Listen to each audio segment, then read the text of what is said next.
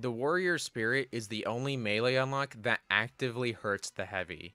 The upside isn't relevant as you should never use melee as heavy, and even if you do, the Warrior Spirit is one of the worst options to pick due to the damage vulnerability.